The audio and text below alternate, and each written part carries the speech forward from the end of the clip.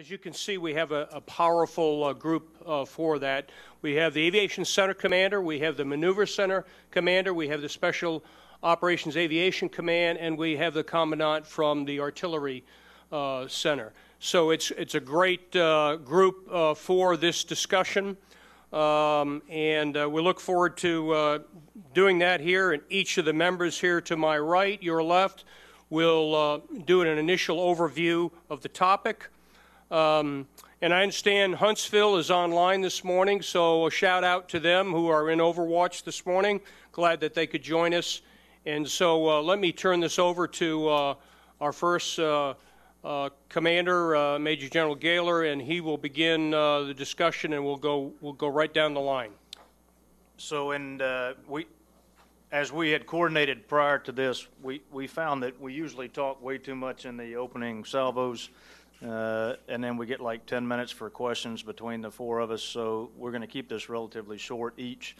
Um, I think what is helpful is uh, the fact that when, when TRADOC and when our Army puts so much time into describing a future operating environment, uh, there's potentially some necessar- uh, not necessarily agreement in every area, but we have a common understanding about some of the greatest threats that we're going to face. We know will be contested. Uh, we know there'll be integrated air defense. We know there'll be an urban component. So I think uh, how we kind of set uh, our formations to operate in that environment is pretty important.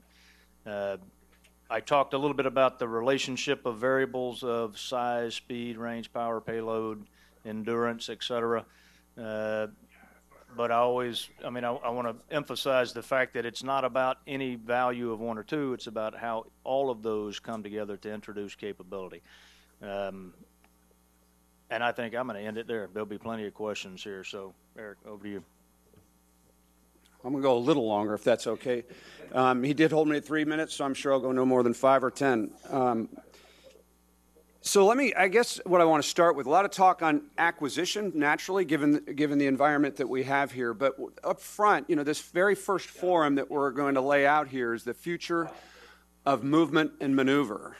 And, and you might ask yourself, okay, why, why would, if I'm in the industry realm and I'm looking for requirements, why do I need to understand movement and maneuver? And it really goes to this concept that Bill was talking about earlier on the understanding of relationships. And I'd lay it out for you like this.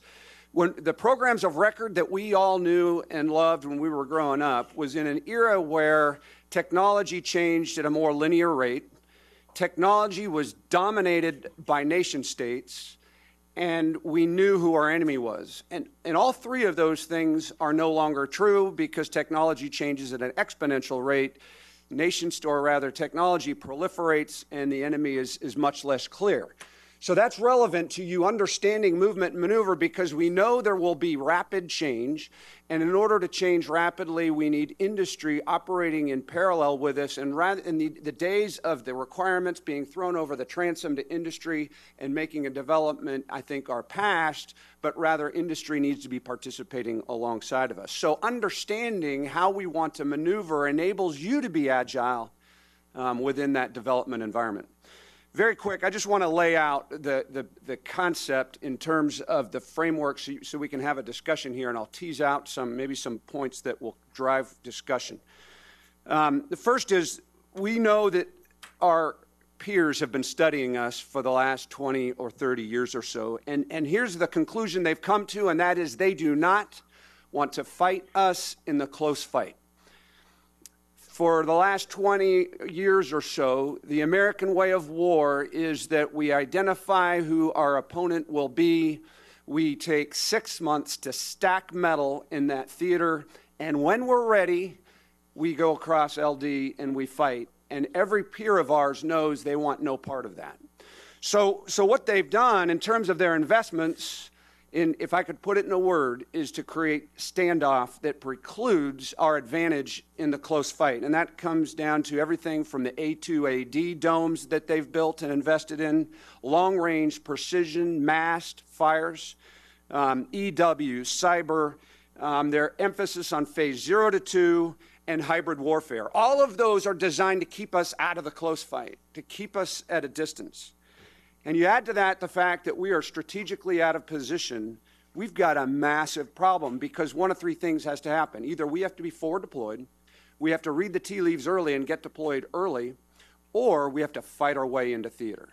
That's a different way of fighting. So, very quickly, four components of the solution at the brigade level, anyway. We have to be able to conduct cross domain maneuver because no longer can we be assured that we will dominate in all domains. In fact, we know we will not. The second thing is we have to be able to operate semi independently. And with the, because of the hyperactive nature, the non contiguous battlefield, brigades will have to fight semi independently. Third, integrated reconnaissance security operations across echelons. And then finally, um, mission command on a scale that our peer group has never seen. So, just as a teaser for you, you, you got to build your army against the enemy threat that you see. You have to have a pacing threat, which I think we've moved away from capabilities towards a pacing threat now. But you have to build your army against that. You can't build your army based on, on the past. So, the question, just a rhetorical one, and then I'll pass it on, is, is our current focus on aviation capability sets correct? Is it, is, it, does, is it a focus that reconciles the threat that I just described? And if it does, that's good. If it doesn't, we might want to revisit where our priority, priorities are with respect to Cape Set 3, Cape Set 1, whatever the case may be. So, with that, I just want to make sure we're focused on the threat. I'll hand it over to General Evans, and I'll look forward to your questions. Hey, thanks, sir. I appreciate it, uh, and appreciate an opportunity to speak to everybody today.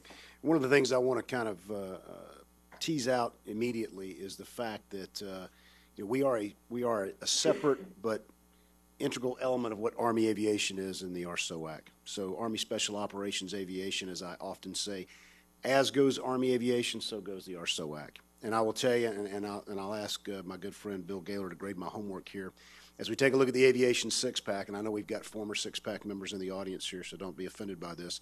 Uh, but I think we have the closest relationship I've ever seen with regards to our level of cohesion and cooperation. And that's not because we're better buddies than some of you folks were when you had those jobs, but it's because our current environment has forced us into this cohesiveness, and we cannot afford to be separated from each other. So there are areas where we are leading Army Aviation in our SOA. There are places where we are side by side with Army Aviation, and there are places where we are trailing behind to see which direction Army Aviation is going to go so that we can support them. Uh, and I think that's, uh, that's an important distinction. One of the things that General Wesley said, uh, I've got, I literally have almost written down word for word here in my own text, and that is, you know, our enemies have gone to school on our American way of war for the last 27 years. Uh, and one of the things that they've done, uh, is uh, they've, they've recognized that in many cases, when uh, we move into conflict, uh, it is special operations forces that are leading the way to set the conditions for more decisive maneuver operations, which means they've already begun to target our infiltration methods, which by and large have been through rotary wing infiltration. So already I feel a bullseye on my force as we take a look at our most advanced potential adversaries and how we're going to react.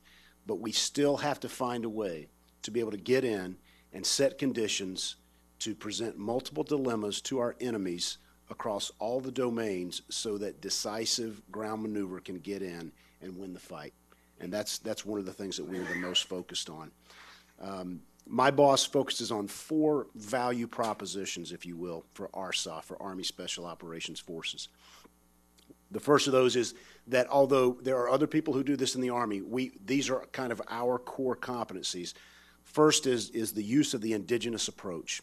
And what we're doing at the ARSOAC with regards to that is we are doing aviation, foreign internal defense, and security force assistance with other nations in the world so that they might build capacity to be able to conduct aviation operations across the spectrum that will again free up our forces from having to do some of those critical missions if we find ourselves in coalition battle. And I can't imagine a situation in the future where we will not find ourselves with coalition partners going alone in a unilateral fight. So this is incredibly important to us. The second is precision targeting. I think everybody is uh, pretty well aware, if you watch the news, if you read books, that uh, SOF has gotten very, very good and very adept at precision targeting, locating, finding, fixing, and finishing the enemy on the battlefield. We're a very, we play a very major role in that uh, in the ARSOAC. Uh, one of the things that we do, uh, and this is much more about SOF ground forces than it is about aviation, but we do it as well, is we develop situational awareness and we wield influence. So we've got people stationed all across the AORs right now in all of the combatant commands that are working with indigenous forces, and they are sensing what is going on in those spaces so that we can report back and help develop the situation for the entire joint force. And at the same time, where we can do so, we try to take our national interest, our secretary's priorities, and push those forward with our partners so they understand what we're trying to accomplish for the collective good against our potential adversaries. And then finally, what we do is uh, we are crisis responders. We generally have the ability, the means, and the resources to get there first uh, and begin to develop the situation before we can close with decisive forces. And that's a very, very important responsibility for us because, as General Wesley pointed out, we have drawn back over the last 25 years, not expanded out, and it will take time to get decisive force, maneuver force, to the fight. So, uh, so we focus on doing that. Um, we are committed to being able to set the conditions for movement maneuver on the battlefield. It's one of the things that we practice the most, and we will stay committed to that. Before I pass the mic off, I want to offer one challenge because I know we've got many of our industry partners here in the room. We've talked about the acquisition process, how frustrating that can be. We've talked about where we need more agility in that space across the board, uh, not just in the aviation environment. But I will push forward the same challenge that I did last April for those who uh, were there to hear me at uh, Quad A, and that is as we develop systems that are more sophisticated and more capable, we need to keep in mind that the future battlefield is not going to give us the advantage of having contractors and FSRs in our spaces all the time. So we have got to build systems that properly trained, equipped, and supervised 10 and 20 level soldiers can fix and get back in the fight. So that's my challenge to industry, and I know that's hard as we start to look at some of the technology that's involved. But if we can't fix it and get it back in the fight, it's not going to be any good to any of us. So I appreciate your time, and I'll pass it off to Steve. Well, good morning, everybody. And, and first of all, I want to thank the AUSA leadership and General Gayler for uh, including the FCO in this uh, this panel. Um, it's great to to be one of the variables that's uh, considered in the relationship thereof. So, as General Gayler said earlier on, you know, um, it, it's all about support to the uh, to the infantrymen and the maneuver uh, out on the uh, pointy end of the spear. And so, it's no surprise that the Army functional concept for fires that's being worked uh, places a priority on support to uh, the Joint and Combined Arms Maneuver Commander. The fires tenants, um, and I apologize, I, I, guess I'm the only one with a slide, uh, but it's, it's probably not a surprise that uh, you'll see that nested within our chart it, are the tenants that uh, General Wesley uh, brought up and some graphics that were created at the MCO because as we decided uh, how we were going forward with our functional concept for fires, uh, we're fully nested within that. And so not a surprise that we want to continue to be precise in the future. We want to continue to be effective. We want to continue to be responsive. Uh, as we evolve and look at the future OE and how we'll incorporate with the maneuver tenants laid out by uh, the MCO, uh, we want to be able to expand our capability for cross-domain fires, and the aviation community has a huge piece in that. How we interact with the, um, the pilot in the cockpit, how do we establish sensor-to-shooter links, how we become more multifunctional, both within the fires architecture of FA and ADA, combining uh, to, uh, to have some convergence of capabilities, but also how we uh, combine with the aviation force of um, being able to be a sensor for us on the battlefield. And of course, we also want to be able to link, to leverage our linkages with the um, fires capabilities in the uh, whether that be with our multinational partners or interagency. And uh, I think I'm going to leave it at that. Uh, as General Gayler said, leave optimum time for questions, and I look forward to answering them.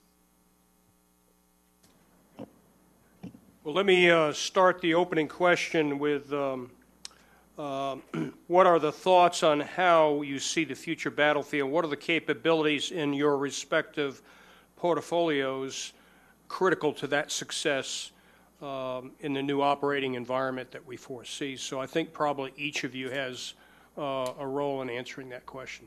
Sure. I, I, I will lead this one off because um, I, I like to say often, hey, the, probably the number one um, capability for the aviation portfolio on the future battlefield uh, is long-range precision fires. Because without some complementary uh, fires followed by short-range air defense, um, we are all vulnerable as a total force. Um, so um, when we think specifically about uh, an aviation capability, uh, I think that we have to understand that we need to um, be agile and have maneuverability in the target area because uh, in our service we fight in the environment. It's aviation is not a means of transportation; it is a platform that we fight.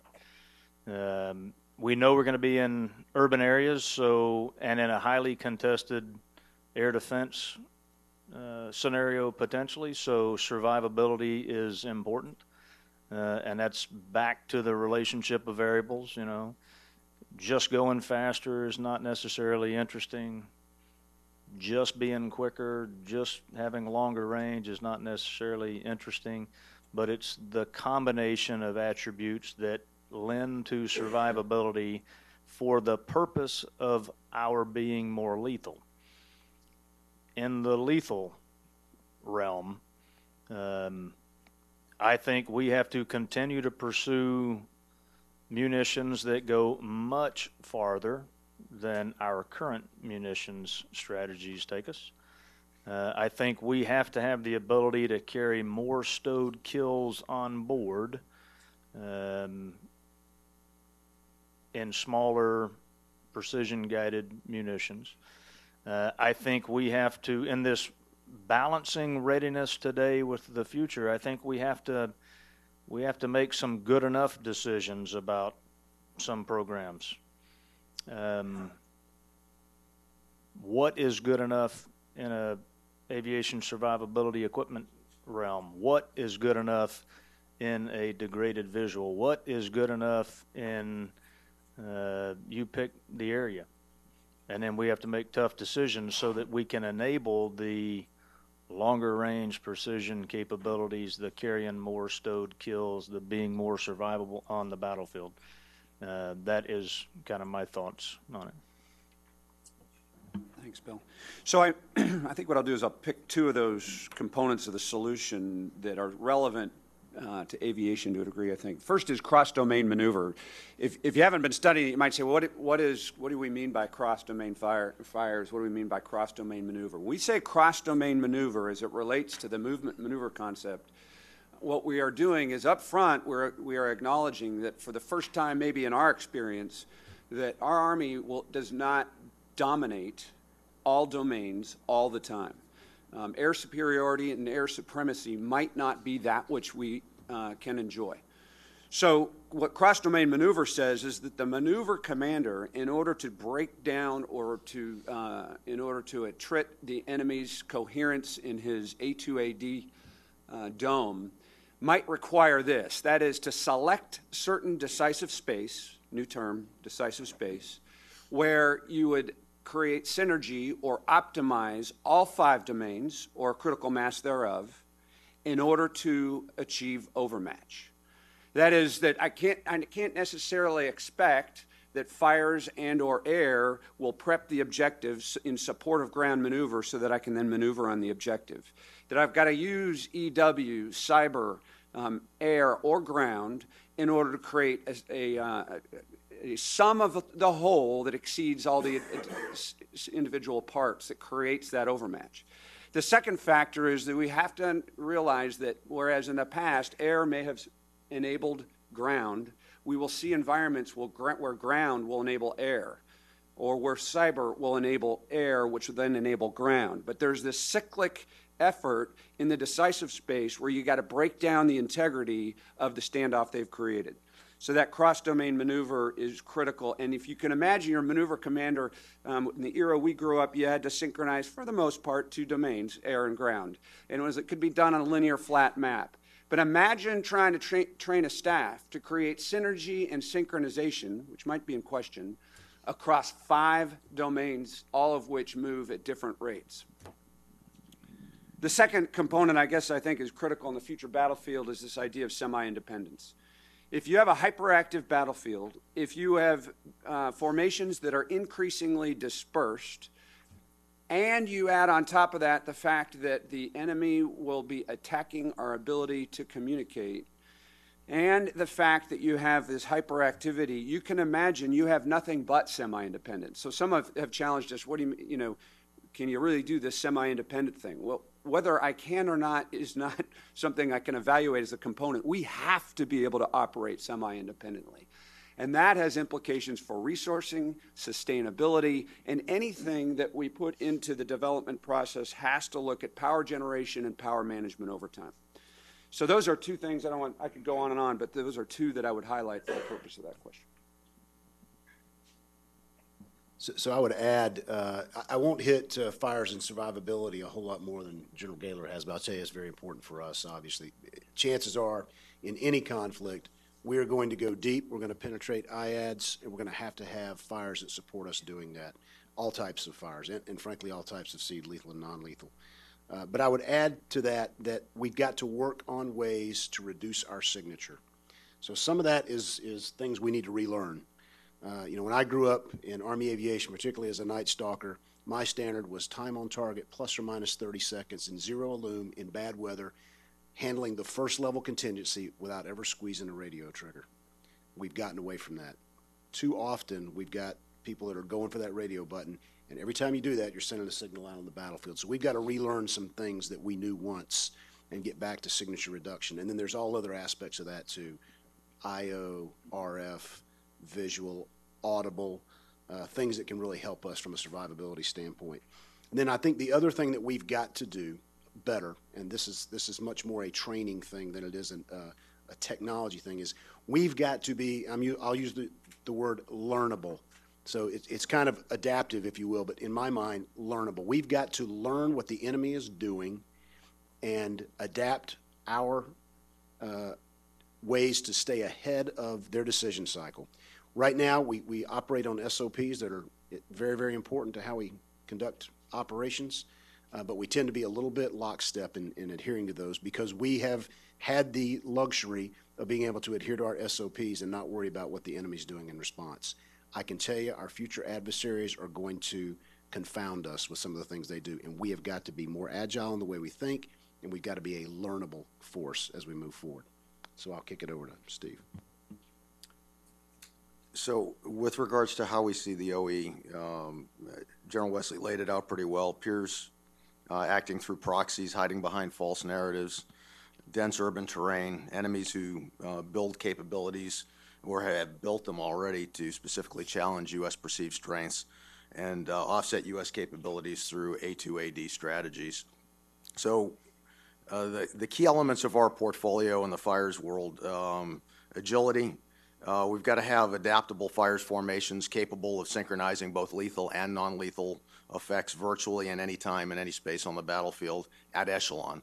Uh, we've got DIVARTYs back in the formation. Those will evolve uh, in the future into what we plan to be uh, multifunctional FA air defense formations, division fires commands. We've got to reintroduce a capability at the corps level to be able to uh, to do that uh, for the corps commander, and we uh, also have an O and O out there for the theater level to be able to to work for the Joint Forces Commander or the GCC. We've got to be able to coordinate and synchronize CEMA, uh, non-lethal fires, as part of our toolkit. Uh, clearly, uh, that's at echelon. Uh, as General Gayler said, uh, precision, extended range cannon artillery, but um, uh, the long-range precision fires LRPF, which is our ATACMS replacement. Um, we've got to get that program moving as quickly as we can and be agile in the acquisition process to, to optimize the speed at which we can get that out to the force. Uh, but also, we've got to extend our range of our uh, MLRS rockets as well uh, from what they currently are able to do to be able to uh, give uh, the type of reach that both our maneuver and um, uh, ground maneuver and, and air maneuver colleagues will need. We've got to have integrated sensor to shooter network capability, matching weapons to target, shortening and flattening the kill chain. we've got to have um, uh, precision dismounted devices that are able to connect directly to AFATDS, and we've got to get good at that digital uh, linkage from the sensor to the shooter without intervention point.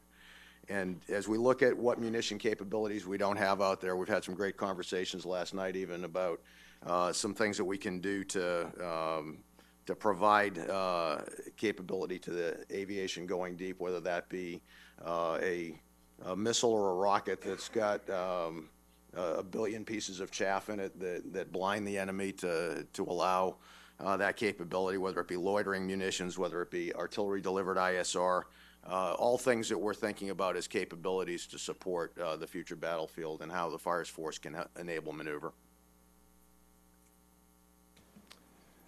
All right, the next question is for uh, General Gayler. Um, How does the Army go about defining industry standards for plug-and-play capabilities? What are the current hurdles to establishing such standards? Will concepts like FACE help toward that end? And others may want to comment on this also. So uh, I- it- it certainly is uh, kind of difficult to define the standard. I think sometimes because we chase what we think is possible rather than snapping a chalk line and saying, hey, uh, bandwidth, processing speed, capacities at this period of time is what we want to field with the ability to update later. Um, what we're also trying to do is to develop uh, this notion of a standard of record for uh, an A kit as a means to rapidly grow, rapidly introduce capability. So ideally, you would only need to upgrade a processor, which is pretty easy to upgrade, pretty low touch time. So you don't have to bring airframes in for major maintenance. You would only potentially have to change a sensor that is a couple of screws and a wire connection, so that's not going to be that challenging to do.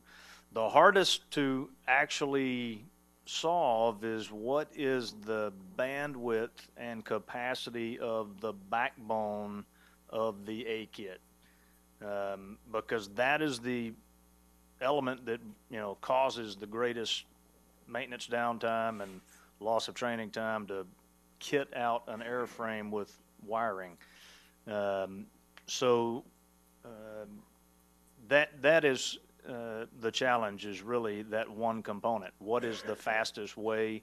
And if if it's the fastest today, well, I mean, you can still actually go on with a modem and dial up onto the internet right now. It still works. It doesn't work great, but for about a decade there, it worked plenty good. So if we can keep from touching the aircraft and replacing those wiring harnesses every 10 years, five years, that's victory. I'm, I'm good with that. Um, so, any of you have uh, anything on your programs, John? No, I, I think you covered it. I, I think we really do need to think about um, addressing capability uh, and, and help turn our acquisition system more uh, uh, from program of record type approaches to a capability gaps type approach. So anything we can do that, to allow us to standardize our approach there uh, is important. I think I think FACE is, is maybe a tool for doing that, uh, but I wouldn't say that it's necessarily the panacea that we need uh, as we as we move forward. We know it's a difficult problem for industry to try to standardize their approach on these things, but uh, I think what General Gayler laid out is the way we, we need to be moving.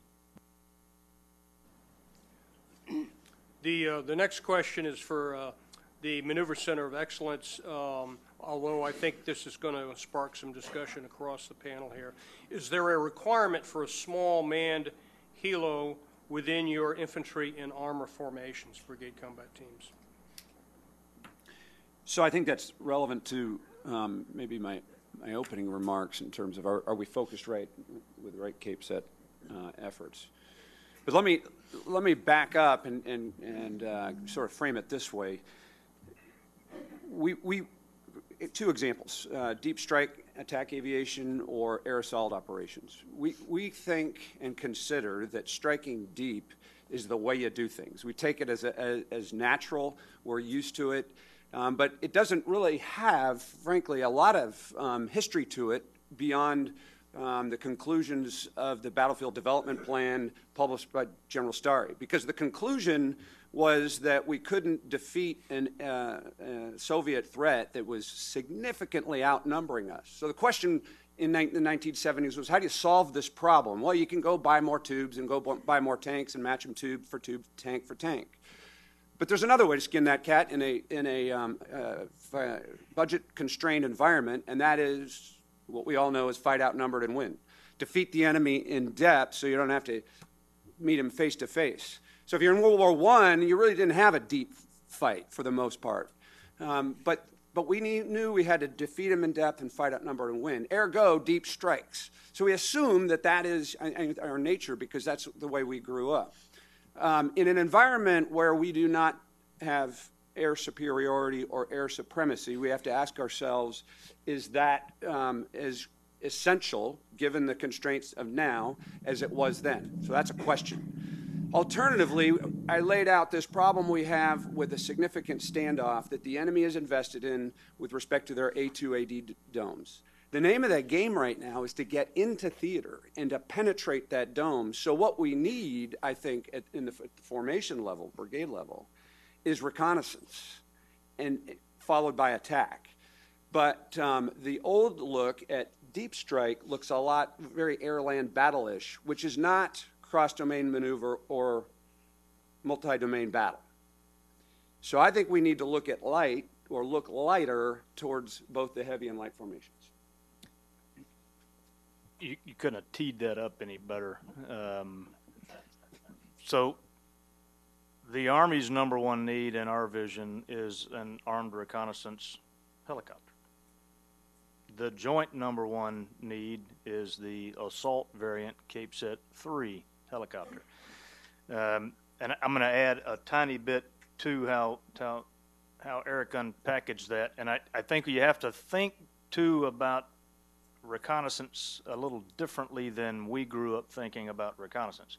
So I, I think when we grew up thinking, hey, I want to define, describe, gather information about terrain and enemy that will provide reaction time and maneuver space for a commander to make decisions and employ forces, uh, it's a little more complicated than that today because now there is an electronic EW component, an emitter component, an RF, a uh, cyber component to reconnaissance. But at the end of the day, you're going to have to occupy terrain and you're going to need to know information about that terrain and about the enemy that you are about to face. You still have to fight for that information. Um, and I think it is best suited uh, with a, a capability set one armed reconnaissance helicopter augmented with some unmanned capabilities or sensor collect emitter map capabilities that can across the spectrum gather that information for a commander. Um, we this this path though we're on has been for a while, so to shift gears is you know challenging, uh, but we are interested in how to do both. We already said we don't have money until we buy out Apaches and buy out Blackhawks. Um, but our intent is still, you know, our Army, the capabilities we need for the ground commander is both Cape Set 1 and Cape Set 3. So, swing away. Sir, if I could just add on uh, a small piece to that. So, I mean, reconnaissance, uh, I mean, we, we think of ISR, uh, you know, as we as we look to extend the range of the battlefield deeper and deeper and uh, be able to kill the enemy at depth, as we just we talked about. Uh, we've got to be able to use technology uh, and realized mission command to be able to go beyond ISR and go into ISRTA. And we've got to be able to acquire targets at depth, and we've got to be able to use technology to route those targets back to uh, those that will service them so that we can open those windows of opportunity for the maneuver force. let me add just one thing, because this is the one place where I kind of depart from the larger Army Aviation Force with regards to roles and missions. And that is, I still have a compelling requirement to have a small assault helicopter for some of the uh, type of fighting that we do in the, uh, in the ARSOF and in the Joint SOF Force. Because we're looking at um, potential targets in the future that may be large megacities or urban areas, the ability to be able to get a small helicopter into those areas and uh, insert surgical special operations teams uh, is still something that uh, my ground force wants to see. So we don't do reconnaissance with our small helicopter. but We're certainly joined at the hip with the Army and taking a look at what the future of, uh, of that type of vehicle is going to be. Hey, one, one last uh, kind of add-on, because it's relevant. Um, As we look at what we think we need to be able to do in the future, we also have to be agile enough to change in stride. So if General Wesley says, hey, the squad in the future to be semi-independent is of X size and has X capabilities, we need to be agile enough to say, okay, well, then we need to change how we're looking at this particular capability set and what its payload, what its cabin size, what its capacity is. If it grows, then we have to make some tough decisions. If it scales down, we have to make tough decisions. So again, we're part of the maneuver functional concept, so that will drive how we view it. Uh, This question was for uh, Major General uh, Wesley, but it may already been uh, partially answered. How does Maneuver Center of Excellence uh, envision adjusting its maneuver strategies to fight in dense urban environments, uh, especially small units? And I think we touched on this, but there may be more discussion on that. Yeah, I'm, I'm hesitating because I'm, I'm, I'm not always a party line guy.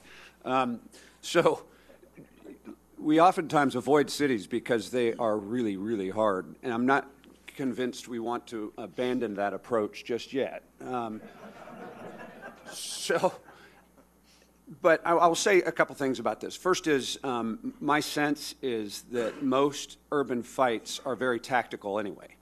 So as we look at the fact, you know, how we would change the way a squad or a platoon engages in the very tight quarters that they'll be moving in, I'm not convinced that there's an operational impact to the degree um, that requires us to change the way we conduct our tactics.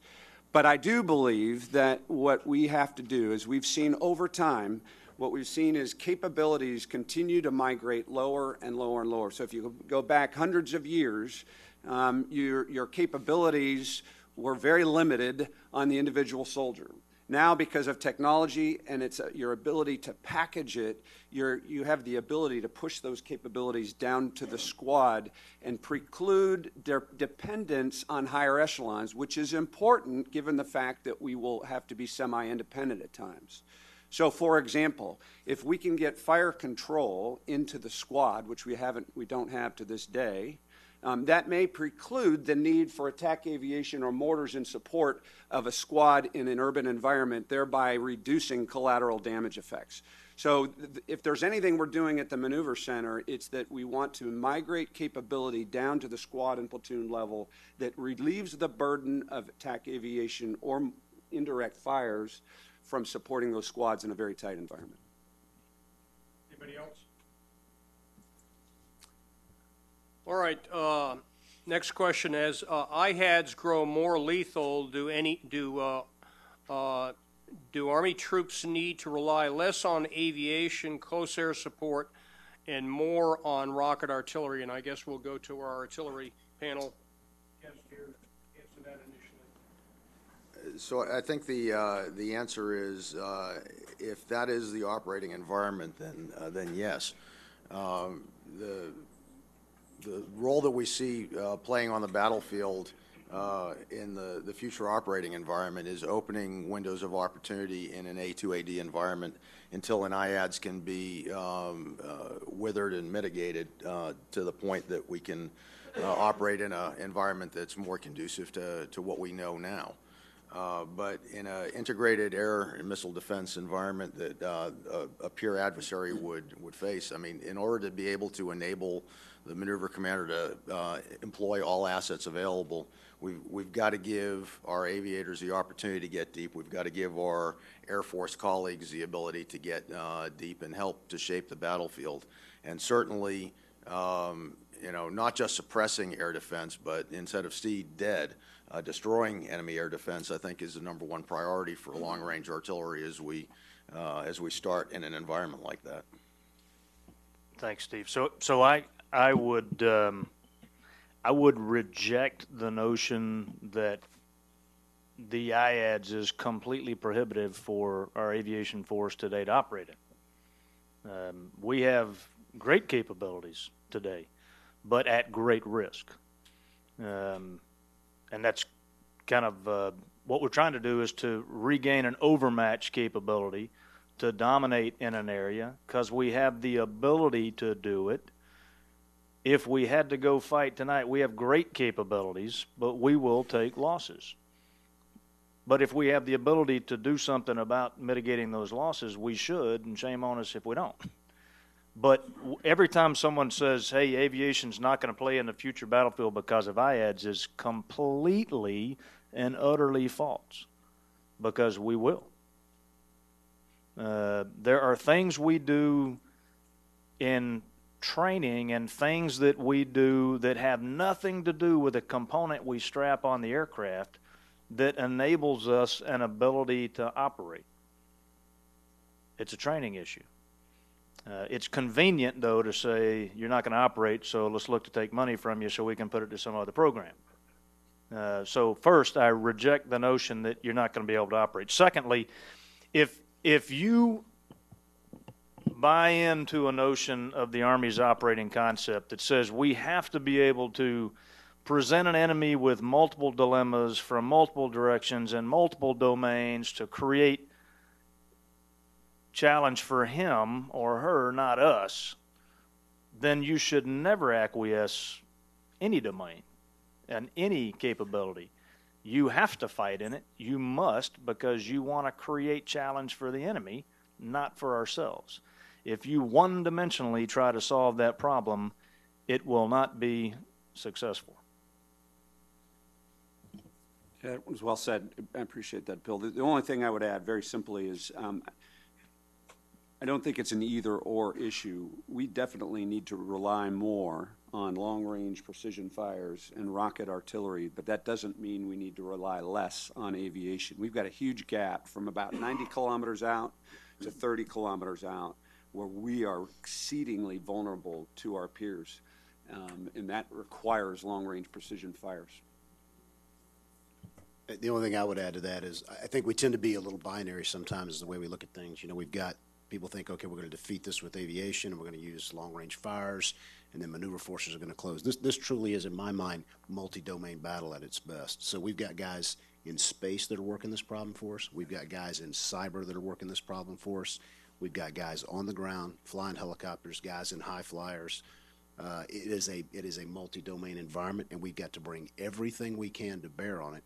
Because, like General Gayler was saying, even though we've got to operate in contested environments, when we do have control of the air, we are very, very effective at what we're doing on the ground. Question for, uh, question for General Gayler. Uh, Earlier, you mentioned better, faster, cheaper. You also said that aviation is looking for best-in-class for capabilities. Does this mean aviation is prepared to move away from or redefine LPTA? I assume that's the contracting term there. Whoever asked the question, tell me what LPTA is, because I have no idea. What was it? Oh, oh, yeah, yeah. Which is uh, just an incredible way of actually buying stuff, right? Yeah, I would give me the cheapest, you know, minimally acceptable thing, and that's going to work for us in the future. Um, so I would say, yeah, absolutely. In, in all of our contracts, I, I would love to see us go away from that, but that's probably a, a question better answered by Thomas Todd, who lives in that world and does that for a living. Um, but I would tell you, uh, the the better, cheaper, faster comment is, uh, you know, it's a, it's a, it's a little, uh, kind of cliche, but it's, there's some truth to it. When, when we say, hey, I want to buy this thing, and then suddenly its price goes up to five million dollars per item, uh, that just became prohibitive. It's better, cheaper, or uh, better, faster, heck of a lot more expensive, therefore made of unobtainium, and we're not going to pursue it. Uh, we are not in a budget environment that gives us flexibility. So that's why the better, faster, cheaper comment. Uh, of course, it'll drive us to look at contracts differently, and I'll let Thomas handle that when he gets up to swing on his panel. Uh, Next question, um, Does this thing go to lunch? we're, we're still, uh, we're still on schedule here. Based on changes in the operating environment, do you foresee more tail- tailorable, sustainable organizations such as the ACR was designed for, uh, to present uh, multiple dilemmas? um, More composite organization, uh, train as you fight. And of course, having been uh, in the cavalry most of my career, you know, where you had scouts, guns, lift, blues, and H-series organizations that came out of Vietnam, that, that uh, reminds me of how we used to do this. So whoever wants to take that on. This is a, an interesting question, particularly the way it was laid out. Um, you know, as, as you all know, there are different tribes within an institution. And um, the one who's most successful is the one who can align tribes to their end um, most effectively. Um, there are some that I want to go back to the ACR for nostalgia, right? Um, that's not a good reason. But if, the, if, if a lot of the ACR tools are helpful in a semi independent environment, I don't really care if it's for nostalgic reasons or not. I'm going to I'm going to align with that. So um, I, we have some great cavalrymen who are wanting to bring back the the ACRs. I, I, we are endorsing um, the current uh, pilots in order to look at our capacity to do that, but for different reasons. At, the Maneuver Center, the reason we believe that we've got to um, reconsider those kind of formations is because you have a larger um, quantity of organic capabilities within the organization that is very consistent with a formation that has to fight semi-independently. So I, I find um, the, the ACR question interesting because it is moving on a path consistent with where we have to go. So the semi-independent brigades in a cross-domain maneuver environment have to have organic capability that exceeds what we have now. If a brigade is independent and they're receiving long range precision fires and they don't have connectivity to higher echelon artillery, they have to have an ability to respond to that. Now, the degree to which we can integrate that, we're, we're, working through, but we want to increase capabilities within the brigades. That increases the, the requirements in terms of training, scope, span of control for a brigade commander. But again, it's not an issue of whether I want to do it, it's a, it's a factor that we have to do it. So from the fire's perspective, I agree with everything uh, General Wesley just said. You know, the, uh, the force that we had back in the 80s of 145, 150 battalions, uh, much larger battalions than the 98 that we currently have in our formation, uh, of which 60% uh, reside within the Guard, including all of our echelons above brigade, uh, cannon artillery have really reduced our ability to uh, to tailor a force to be able to be flexible, to to use support relationships and command relationships to support um, the flexibility to the maneuver commander.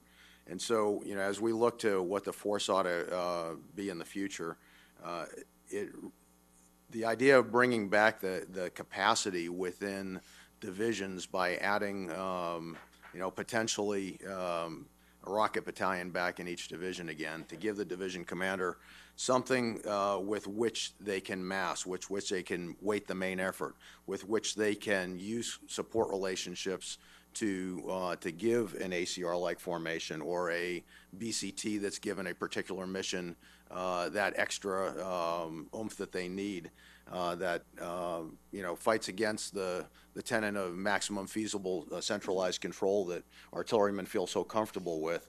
You know, the modern battlefield uh, is going to drive us to uh, to explore more uh, autonomous uh, capabilities within formations.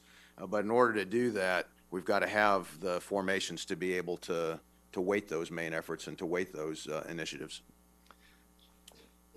So, capability, absolutely. You would want that capability. I think what will be interesting in the debate is uh, how many BCTs are we going to bring down to make that capability? How many other formations do we bring down to build the fire's capacity? How many other formations do we bring down to bring in a logistical capability? Uh, because the reality is today, you, you could not put an aviation formation in there and be maneuverable. You couldn't, you couldn't move your own formation. Uh, you can move the helicopters, you can't move the equipment. Uh, so it doesn't become very uh, expeditious, I would say, uh, or expeditionary. So the capability you would certainly want to explore to see if it's additive. Uh, but we have some very tough decisions ahead if we decide to go that route, uh, frankly. Yeah, if, if I can, I agree with what Bill said, and so you, you may have to limit the degree to which you could field um, more or uh, brigades with organic capability, like we're describing. But a mo- another point that to, to take us off the scent of a core reconnaissance capability called an ACR is the fact that we don't expect the battlefield to be as uh, uh, symmetric as it may have been in the past or as linear as we, we described it. If it's going to be hyperactive and non contiguous, uh, we can expect that where, where is the front trace of the, of the operational fight, that might be unclear. And so if the, if the battlefield turns quickly or the environment changes quickly, you can't just go to the ACR and say push out a little further. It might be somebody to the south, to the west, to the north of you that has to assume that role and has to have the, or cap- the capability within them. Because the battlefield moves so fast, dynamic retask organization may not be an option. So having the capability that's organic to the degree possible is what we've got to pursue. Michael, I think we're about five minutes out. Uh, and uh, uh, let me see if I can combine two questions here. Um, what lessons for Army aviation are coming out of the Russian experience in the Ukraine, Crimea, and Syria?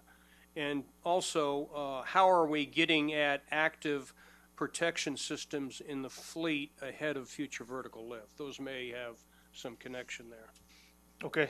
Um, so for the, the, the Russian experience, um, uh, I think and I'm gonna I'm gonna couch it in a couple of ways. One, I, think there is a lot to gain from studying that, and I think uh, the first thing that really comes to mind is something that every one of our formations has the ability to solve right now, and it's training, tactical flight, terrain flight, um, and what it does for you in that environment. Uh, I think it has a great deal to teach us about um, signature discipline with FM comms and cell phone radio, or, uh, uh, emissions that uh, we typically are very disciplined to manage, but I do think we have to go back and focus on that again. We we have large signatures. Um, with regard to uh, you know Ukraine, Crimea, and and now Syria, I think um, I, I, think the the study in Syria is just more or less um, certainly informative and interesting. It's a bit of a uh, show and tell of new capabilities uh, that's informative, um, but uh, will help kind of steer where we want to take these capabilities. Now, as far as bringing in the uh, capabilities ahead of FVL uh, with active protection. Uh, I, I'm going to go back to my kind of systems architecture comment. I think the government has to define and own the standard of what the bandwidth processing speed capacity is, and all of industry builds to that standard. So now it's an open competition for who has the best sensor. Now it's an open competition for who has the best processor or whatever. Um, and that gives us the ability to rapidly change just through a software card, boop, and now I can account for something new without having to put new hardware on an aircraft. Uh, we have to solve that architecture, that A-kit for FVL before it comes on. Uh, and ideally, it could be retrofit to other airframes. So, any, uh, I would just quickly mention one thing about APS. You know, it, on the ground maneuver, we're learning a lot about this too. And, and obviously, there's nobody, no particular branch that um, would benefits from APS any more than the other. So we'll, there will be a lot of shared learning here. The one thing that we're finding uh, with the Abrams as we put this trophy system on is that you know just snap linking this stuff on is is not uh, something that is easy to do, and it needs to be part of the the development process from the ground up. And so, to the degree we get after what Bill's talking about, and that is change out a card, um, we believe we have to initially build a common architecture in terms of the brains of the system, such that the weapon systems or the degree to which it, it counters the threat can change and evolve, but a common baseline uh, backbone, as you call it. Yeah, and I would add, uh, the wider proliferation of technologies that, that are coupled with commercial off-the-shelf enhancing capabilities are creating an environment where threats are not just increasingly lethal, but increasingly fungible. And so it's not just going to be a function of what active measures can we take in the future, but we've also got to think about the entire DOTML PF uh, end-to-end application, focusing on training, but also focusing on what we're doing doctrinally, and I think that's really kind of what we're here talking about with movement maneuver. Well, uh, obviously, we're doing real well here. We've been given some more time, so uh, I have another question. Um, many today discuss the importance of coalition partners to uh, U.S. battlefield success. How do we keep allies and partners in this discussion? Anybody want to jump on that one? I'll, I'll swing at that one first because we do, we do quite a bit of this in SOF. And, and I think engagement is the number one thing. So, uh, we've got to, uh, we've got to seek out, uh, active partnerships. We've got to build them at all levels. And we got to build them at the personal level. We got to try to build them at the unit level. We certainly have to build them, uh, at the, at the bipolar, uh, country level. Uh, but the engagement aspect becomes increasingly important for us as we as we take a look at partnership. Uh, and I would add that uh, we we have for a long time, I think, felt like we had to go it alone in a lot of places in the world. We've got partners out there that want to contribute. Uh, and we've got to uh, encourage them to contribute in spaces where we can't wield the kind of influence that they can. They have access and placement with some of our near peer adversaries, and they can be very helpful in that process uh, for us. So, uh, I think too, there's always a common desire to be interoperable, um, but I don't, I don't know if you know, interoperable does not mean identical. Interoperable does not mean um, exchangeable. So we have to certainly work closely with uh, our allies and our partners, but we also have to kind of define the interoperability you want. You want a technical piece of interoperability. You want a uh, a personal relationship part of interoperable. You want a doctrinally interoperable force, but not necessarily same equipment, same stuff. You know, it. Of course, we and others would like to kind of do that as much as possible, but it's not what's important. What is important is uh, so I love how General Hodges and USAREUR kind of defines it. He, he, hey, I want to have the ability to talk FM secure. I want to have the ability to send a digital fire mission to an ally, and I want to be able to see a common operating picture amongst our allies, partners, and uh, ourselves.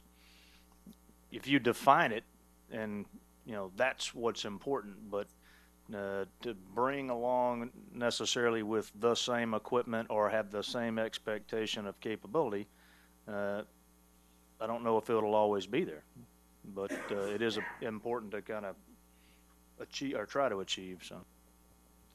Let me just jump right on top of that. Uh, having just come back from uh, uh, last week uh, over in uh, Europe, meeting with uh, with two of our NATO allies. So I think relationships are absolutely the start of it, and I think where General Gayler took it into uh, mission command and a common operational picture is absolutely where we need to focus our effort as opposed to precise technical interoperability.